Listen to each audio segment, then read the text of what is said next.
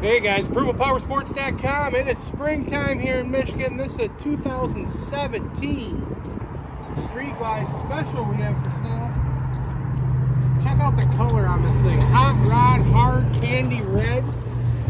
Sharp bike, that's chrome front wheel, chrome front end. Oversized LED screen. Screaming Eagle exhaust, navigation motor. 107 cubic inch motor that runs strong. Everything works. This thing doesn't need anything.